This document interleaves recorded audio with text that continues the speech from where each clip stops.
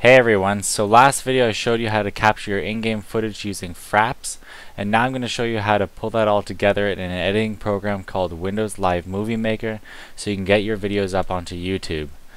Now I'm going to show you Windows Live Movie Maker over some of the other ones such as VirtualDub because first off it's free as well as you can save your videos in HD format which some of the DivX codecs require that you purchase the codec in order to be able to save your files in HD. Um, so that's one of the benefits of uh, Windows Live Movie Maker. Anyways, we'll, uh, we'll try to make this uh, tutorial pretty short so I'm going to jump straight into the website where you can download it. Um, so just go Windows Live Essentials for Windows 7. You go to their main page. This is what you want. You want the Windows Live Movie Maker. Um, you can download the whole package here.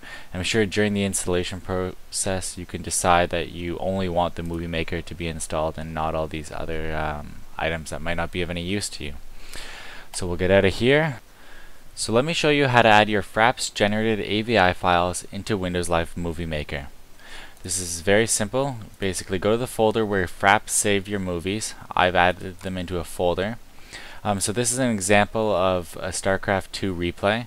So it was about a 10 minute game and it generated about 10 3.95 gigabyte files. So you can simply select the ones you want to add and drag and drop them into Windows Live Movie Maker.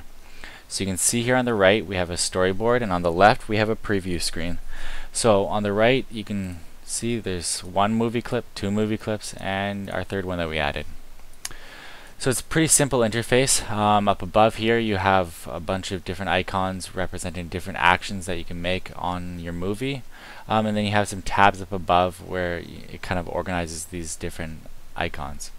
So anyways, so your home is basically your general tab. This is where you can add your videos, um, add your main things like titles, captions, credits, and where you have your upload options and uh, export options. So if we move over to the next tab, you can see that uh, you can add different animations to your to your video. So if we select this uh, this first clip here, we can go and choose a certain transition. And if you just hover over top, I haven't actually clicked, you can just see the different transitions and what it'll look like in the preview screen, which is kind of neat. Um, I don't add any transitions to my YouTube videos because I find uh, they're just kind of annoying. Um, you can also add visual effects. I don't really see the purpose of these either, so I don't use them. You know, black and white kind of neat. So, uh, um, you can go to the project tab. Now this is something that, that is key. So do you want um, a widescreen or standard display? Um, YouTube supports widescreen um, displays, so especially if you're doing something like 1080p, um, or if you have a widescreen monitor like I do, this is essential. Um, the view, um, not too not too useful. You can preview in full screen. I don't use this either. Um, the video editing tool is useful. So there are two options in here that that I do use often, which is the trim and split tool. So the trim tool is kind of neat. So let's select the second movie clip, and we'll select the trim tool, and uh, you can see that we can set a, a, start point and an end point to our video. Um, and then we can highlight certain areas of the video and we can preview Sir, the sort of highlighted area um, of the clip that we want um, that we want to trim. So that's kind of neat. Um, you can see that it's actually kept the entire original clip, it's just trimmed down a certain portion of it. Now if you don't like the trim, um, then you can simply just cancel it.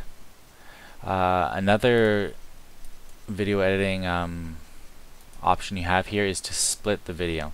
So let's go to our clip 1 and uh, we can choose to just split it at that point. We can choose another point in the clip and we can split it again. So now the reason you might want to split is to add in maybe a caption so we could jump back to our, our home tab here and we could add in uh, yeah, maybe a title. Maybe you want some sort of a transition title saying, you know, section 2 of your video. So that's kind of neat. Now we can delete that. Um, so those were the video editing tools. Um, now the three other main things I do use are titles.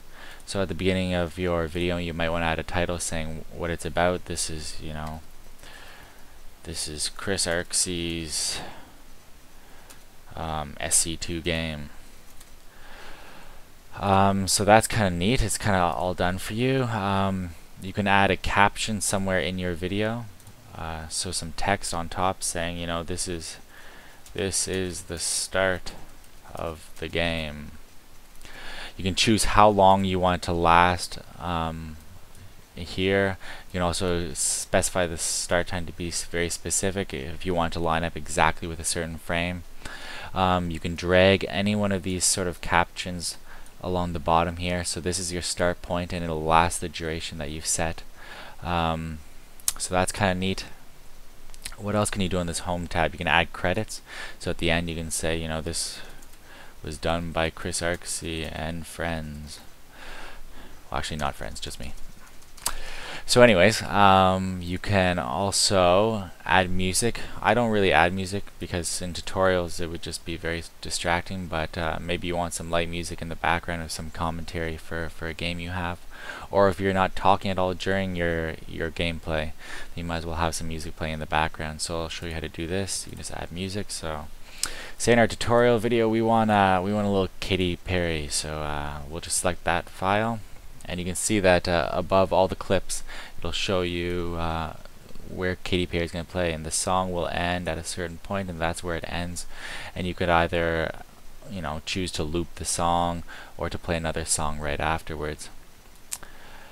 So that's kind of neat. So that pretty well covers uh, Windows Live Movie Maker and all the sort of options that you can uh, that you can use so you can see as as you add a video or add, as you add music, you get a new tab to to specify uh, certain options for for say the music we just added. You can set a, a start time, a, stop point as well, um, and we added text as well, so you can go and change the text, you know, certain different effects, um, sure your font sizes, etc. So that's kind of neat.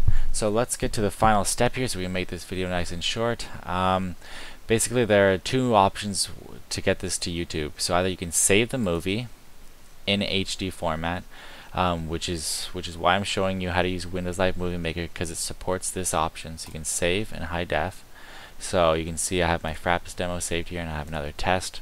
So you can save it directly there. It's going to take some time depending on the size uh, of your video. You can see this one ended up saving as uh, close to you know, close to 100 megs, and that was a 10 minute video for YouTube. Or you can upload to YouTube directly. So if you click YouTube, you can choose your resolution. So if you want HD 1080p, then you choose the first option. You enter your password. You know, you enter the same information that you'd have to enter on YouTube.com. So my my SC2 movie. Um, uh, replay. So this SC2 might be one of your tags. So you can select a category, um, gaming, public, and then you can just publish. And as soon as you hit publish, well actually, sure we'll start to publish this, but I'm going to cancel it. So you can see it's going to save the movie first, and then it's going to publish it. And this can take some time. So this is just, you know, uh, 4 minute and 26 second movie and it's and it's gonna take some time. Even on a, an i7 processor you know with 6 gigs of RAM etc it's gonna take you some time. So we'll cancel out of this. And uh, that pretty well sums up what I wanted to show you. Actually I'm gonna quickly show you how uh, if you don't already know um, yeah the other option would be to go into YouTube hit the upload video button and then select your, your video from the folder in which you've saved it to. So that will now sum up uh, the tutorial for Windows Live Movie Maker and hopefully this was useful to you. Hopefully it didn't take up too much of your time. And uh, if you like this video, please hit the like button, subscribe if you want to see some more videos, and check me out on Twitter. I'll leave the links at the end of the video. Alright, take care guys.